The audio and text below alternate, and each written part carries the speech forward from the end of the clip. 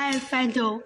Now we are printing 50 slides in a sequence 50 because we uh, just input the block number 50 then it will automatically print in a sequence.